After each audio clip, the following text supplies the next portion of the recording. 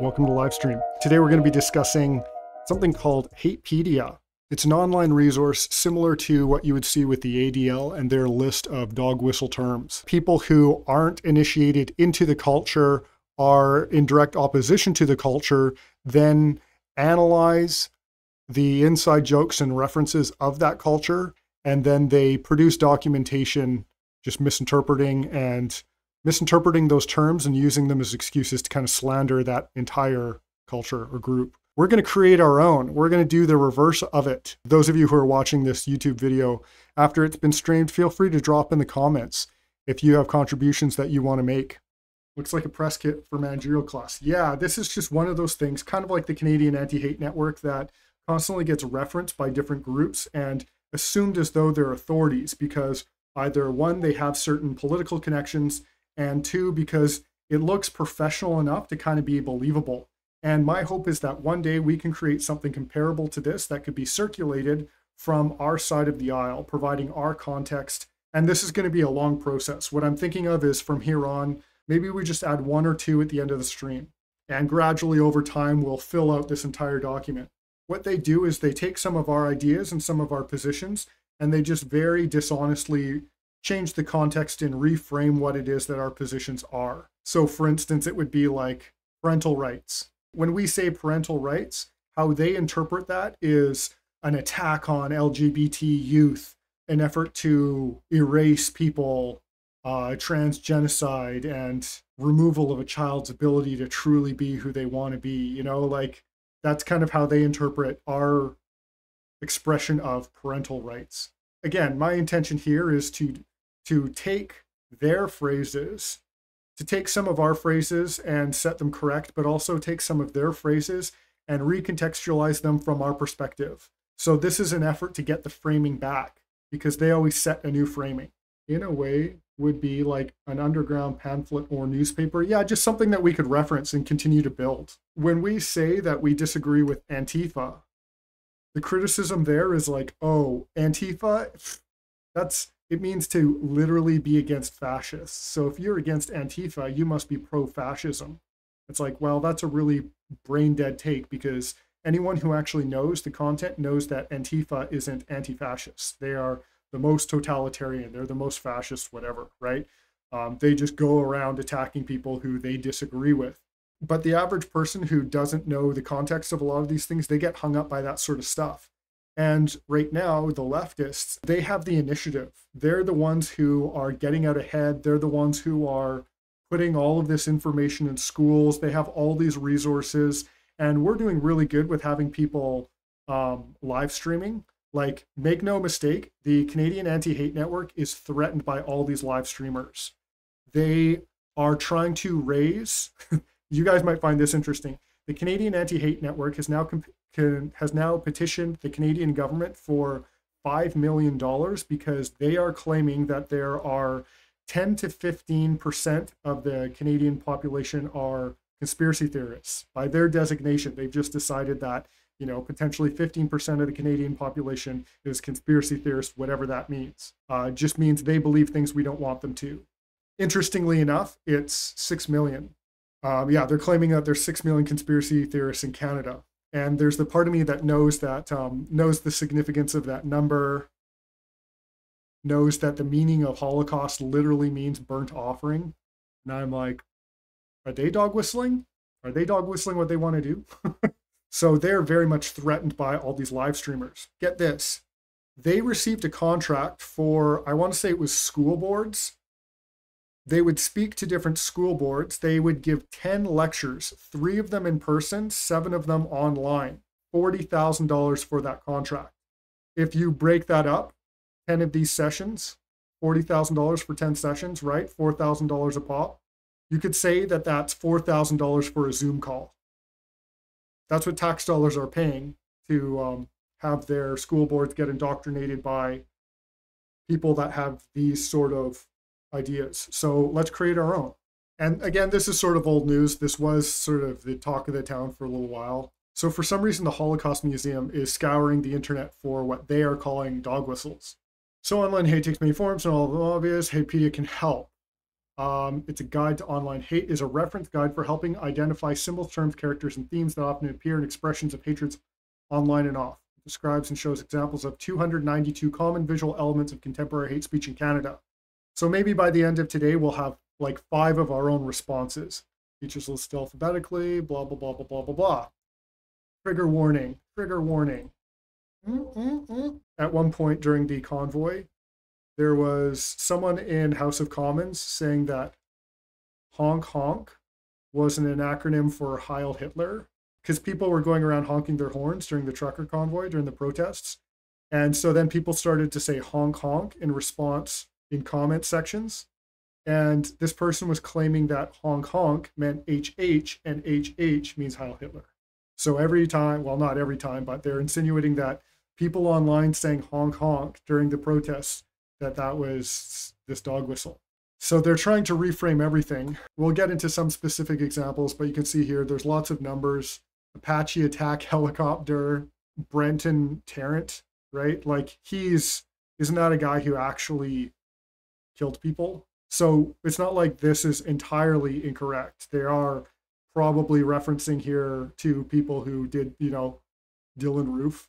It's like, yeah, there are people in here, there are references that are legitimately worth condemnation, but there's also like, you know, Clown World. Clown World is like a symbol of hate, you know. FYMM, that's a Diagolon thing, which just stands for like F you make me. So to say make me in a sort of vulgar way, that's hate. Hey, we're trying to force something on you, and you say make me. Oh no, you you're being hateful. You have to let me force this thing on you. Giga Chad is a hate term. LGB, interesting. They consider the absence of the T to be hate speech. Nuremberg 2.0, I've definitely referenced that. That's not a hate speech, that's a completely reasonable request. Not even a request, a completely reasonable expectation. Interesting. They consider natives should have total control over their homeland to be one. Greatest ally. Perplexity says, I think their magic words are losing their power. People have been desensitized from repetition. That's true. Then it's just a matter about it's just a matter of whether they can do a shell game and switch the meanings enough to confuse people again. If they keep switching the terms, eventually people catch on and they say, Hey, I don't believe anything that you're saying. So then they need to switch identities. Then they need to shell game not just the terms, but they need to shell game the organizations and the groups that are promoting the terms. Gamers Rise Up was one. I missed that one. Scuba says, Nathan, it's very simple. The people that constantly harping about Christian proselytizing now in turn want to set the culture. USS Liberty incident. Because they're like, yeah, it happened, but you have to say it was an accident. It's like, that's like not exactly what the people who were involved said at the time. White Boy Summer. Weimar Germany. Okay, let's find Gamers Rise Up. Let's do that one first. Whoops. Gamers Rise Up is a catchphrase from an online movement of the same name. Gamers Rise Up started as a satire of Gamergate, relying on over the top tropes of the alt right. Over time, it became perceived as less satirical and an output for hate speech. Cruelly made memes of the Joker and the phrase, We live in a society, were common elements of Gamers Rise Up memes. You can see the quality of effort put into this. That in no way describes how any of that is hateful they're they're insinuating that it's hateful because it has associations with the Gamergate movement, which they're just wholesale. They're assuming that they can just say Gamergate, and then you are like, oh, well, that means it's hateful. That proves it. Let's see what they say about Diagolon, just to refresh. Diagolon refers to a network of Canadian far right activists formed around a, collect- a collective of anti Semitic streamers. Uh, citation needed. It also refers to a fictional country spanning from Alaska to Florida, envisioned as a tongue in cheek symbol for political jurisdictions with fewer COVID related public health restrictions. Diagolon's ideologues espouse anti Semitism, Islamophobia, racism, homophobia, and misogyny. The network is influenced by firearms culture, military militia movements, and accelerationist movements. Even the RCMP said it was an accelerationist.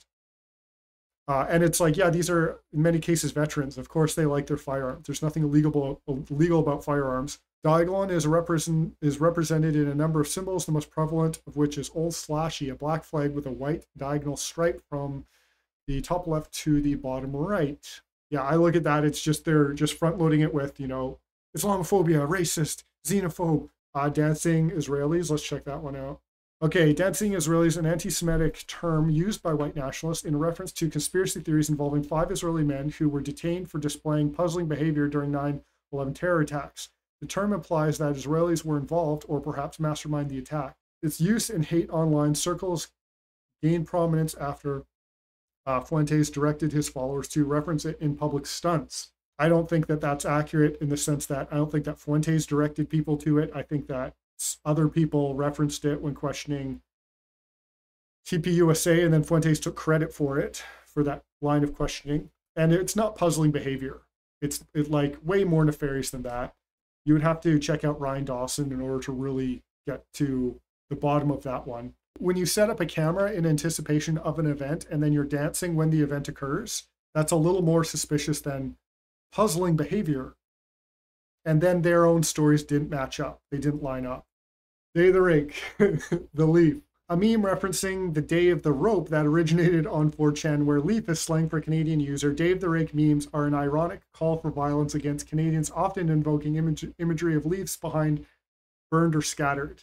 If it's an ironic call for violence, why would that be considered hatred? It's like, isn't the unironic calls of violence the thing that they would actually need to be worried about? When the trans activists have shirts that say protect trans kids and there's a big knife on it, they don't mean that ironically. They mean that literally. They mean that they want to stab you if you disagree with them. And then they're connecting it with of the Rope. The day of precedes the day of the rope, right? This book. The day of can mean a lot of things. It's literally the day that something happens. It doesn't have to be nefarious. The day of the high five. Wasn't there like the day of the woman? That was like a feminist thing for a while. I bet we could find that. and see how that's different than like International Women's Day. Uh, they say that uh, Day of the Rake is nefarious because Day of the Rope is nefarious. Deus Vult, Latin for God wills it, was reportedly the battle cry of Crusaders during the First Crusade. Like other aspects of Crusade, Crusader iconography and symbolism, the term is often employed by hate movements, particularly those affiliated with Christian fundamentalism. So they're throwing shade on the First Crusade, Christian fundamentalism, or hate movements affiliated with Christian fundamentalism. While it's most often used in the context of Islamophobic posts and memes, it has also been used to target members of the LGBT community and women. So NPC, non-playable character memes emerged in 2016 on 4chan. It it originated before that. It originated from this philosophical idea that the majority of people don't have internal voices, or they don't have an internal monologue. So there's a question of whether they even have their own independent thoughts, or whether they're just externalizing whatever's in front of them like I'm about to do by reading this. Calling someone an NPC is an insult used to dehumanize people by representing them as unimportant, irrelevant, and unoriginal. In hate speech, this intentionally dehumanizes the target. In far right online spaces, NPCs are used to depict people who embrace progressive political beliefs or those uninitiated into online culture. It's also just hilarious, too, that they have to create these documents because we actually create culture. Like they're sitting around watching, keeping track of all of our inside jokes. When's the last time they said anything funny enough that we even cared about it? Okay, Nuremberg 2.0, it refers to a fantasy in which perceived political enemies are put on trial for crimes against humanity, just as Nazi war criminals were in the Nuremberg trials. Through pseudo law arguments and conspiracy theories, COVID 19 health and safety measures like vaccine mandates are often considered to be along among these crimes. The advocacy of Nuremberg 2.0 embodies a desire for violence towards political enemies and distorts Holocaust memory by comparing Nazi Germany's actions to modern COVID 19 measures. No, it's a very simple question. Did you violate the Nuremberg Code or not? I've never once had a person be able to defend it. All they will say is that they'll bicker over the definition of experimental, or they'll say that, well, we're not actually bound to the Nuremberg Code. That's not Canadian law. It's like, okay, did we break it or not? Whether we're under it or not, sure, that's another discussion. But did we break it or not? And then did we go fight and kill in other countries, fight and die and kill in other countries in order to put people to justice under the Nuremberg Code? That was good enough for us to enforce over there. So why would it be unacceptable for us to hold our own authorities to the same standard? 07, it is used in a variety of contexts but is particularly popular in some youth oriented white nationalist online cultures because its use is oftentimes not hateful, but content must be examined before determining the intent. So, there, what they were saying was that it's not necessarily hateful, but hateful people are using it. Also, water. Oh my goodness, look at this meme. It's Ben Shapiro in like Star Trek saying, Direct hit, sir. The starship USS Liberty has been destroyed. Uh, USS Liberty incident refers to an incident which took place in 1967, during which Israeli aircraft accidentally sank an American ship, the USS Liberty, killing 34 crew members. Anti Semites and white nationalists often refer to the sinking of the USS Liberty to depict Israeli as an ill-intended, ill-intentioned and conspiratorial state. It's one of those things where you don't get to actually even look at the evidence, or they you know, call you anti-Semitic. To even have a discussion about the evidence at all is considered anti-Semitic. Weimar Germany, let's see that. So the Weimar Republic, also known as Weimar Germany, is the name used to refer to the German political movement from the eight, from 1918 to 33. Despite political difficulties, is remembered for a cultural boom, progressive social reforms, and increased social acceptability for the LGBT community.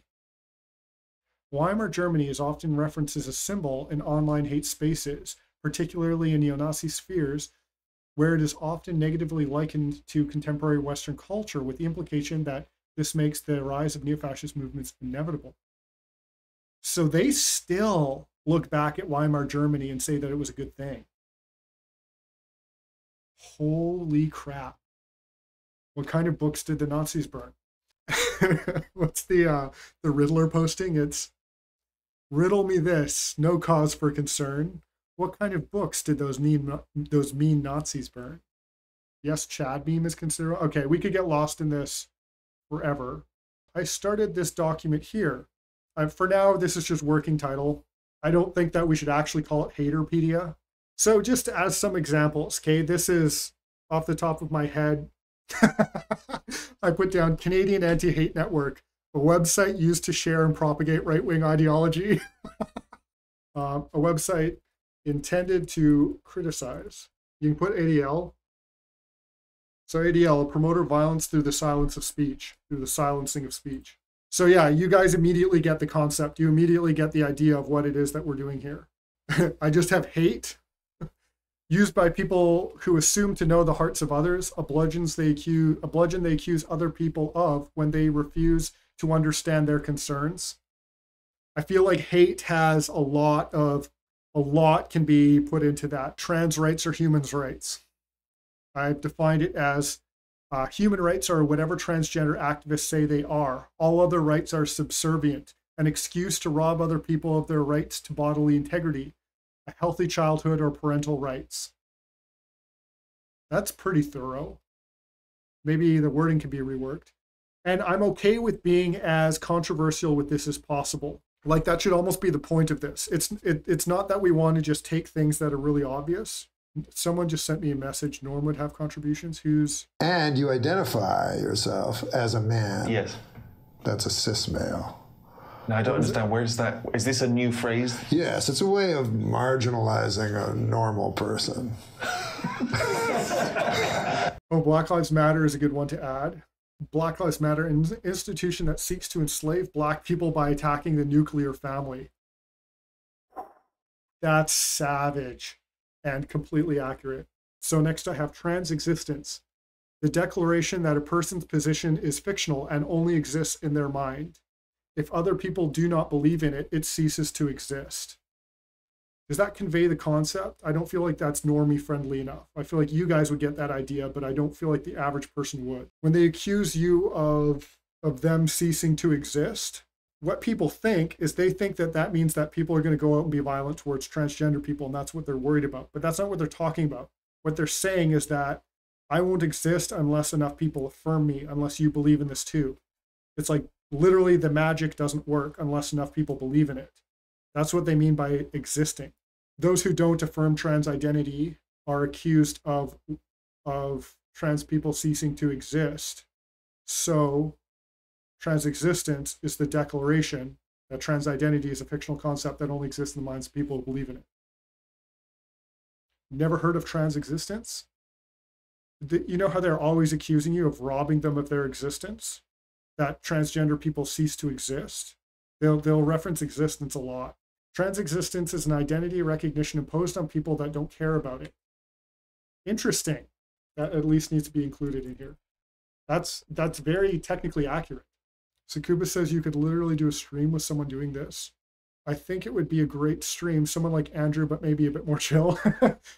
yeah, um, I think Ferryman and I should do this. Maybe I'll pursue him about that. Renegade says it's happening right now. It's a stream. We're doing this. I think he means having a co-host. Our democracy. When you import the leftists, when you when you import all the leftists from all over the world who don't care about their own nations to come to more successful countries to destroy them, while all their right-wing minded people stay in their own culture, in their own countries, and conserve their own cultures. That's our democracy. Our our democracy. Uh, fascist. Anyone who isn't a communist, Marxist, or antinatalist. Someone who believes in families or nations. That's good for a that's good for a jab at the left, but that would never work for normies because the thing is that fascist does actually mean something. What I'm saying is that this is what the left is calling fascists. And really, what this needs to be then is this is a translation tool. Yeah, this needs to be framed. This needs to be framed under the understanding that this is a translation tool and not a definition of these terms. It's like when the left says fascist, what they mean is, and not here's an actual definition of what it is. So I need to make sure that. Testing one, two, three. I can hear you now. We can hear you. An appeal to a social contract it's like an appeal to a social contract that they have undermined and destroyed, right? Or it's this. It, it's you could apply that to many things. You could apply that to a lot of things, it's like moral appeals, all these kinds of things. That yes, like you said, they destroyed, but now they appeal to it. the So I would say selective you can- appeal, um, foreign interference when globalists pretend to care about nation states. Okay, I have one more for you to add. Yeah. My taxes. When people say my taxes, no, in the sense that people say it with a certain entitlement, like you know, they're like there's not a big like they have any control or say in Right. this because they pay taxes. It's like you know, yeah, you control this because you pay taxes, sure, buddy. So the assumption that a person has a say in where their taxes are spent, the misplaced assumption. Popcorn is saying, translating leftism, translations of leftism, illuminating the far left. I don't want this to come across as an inherently left or right thing. Even if That's it, the thing I was gonna say. even if it obviously is, even if as soon as a person digs into the terms, they're like, oh, this is very clearly written from the perspective of people who are right wing. But like they have a monopoly on uh, accusing other people of hate. You know, they're like, hate is what we say it Okay. is. And so I'm doing the opposite now. I'm saying, no, here is what hate is. So you can you, okay, so you can uh, focus on what they actually do, what a lot of these things contain. And I don't honestly, I don't think it's just a thing of the left. The Patriot Act, right? It's not a left wing thing. That's a good idea. Add some of that sort of stuff in. right. So what is this? Is an uh, encyclopedia of language subversion. Yes, And exactly. Exactly. basically, what I'm really trying to target is their weaponized terms. You know the right. like, and what are things that are um, like? What were they telling us during COVID? Two weeks to flatten the curve. Uh, obviously, build back better. You will own nothing and be happy. Save grandma. Save Saving grandma. grandma. yeah. Yes. Yes. Don't kill grandma. um, Slava Ukraine. I want to, the idea that I want to express is that it's like a way to exploit more resources from other countries to increase the meat grinder and like resulting in increased loss of life in Ukraine. Oh, you, oh, you can put anti-Semitic person is a person uh, a Jew disagree with. It used to be some someone that hates Jews, but now it's just someone that uh, um, disagrees with uh, with Jewish leadership, even if they're a Jew. So uh, it happened with this actress. Uh, What's the name of the actress that is Queen Amidala? Natalie Portman. Yes, Natalie Portman. She made some remarks, and uh, a minister in Israel said she was, uh, you know, spouting anti-Semitic remarks or something like that. He called her the Jewish Uncle Tom. the Jewish Uncle Moosh. okay, um, I think this is a good like a good starting point. And uh, Renegade is saying we should do a term every stream, or at least one of the streams in the week. I agree. This should be like a one of the show's regular segments. We add to the encyclopedia. I think this document is going to be the start of interesting things. I'm very curious about you guys' ideas. If you have any more you want to add, please put them in the chats. Thanks for watching the live stream. Have a good rest of your week. Second Nation, Canada, all that kind of stuff. Unseated, don't forget.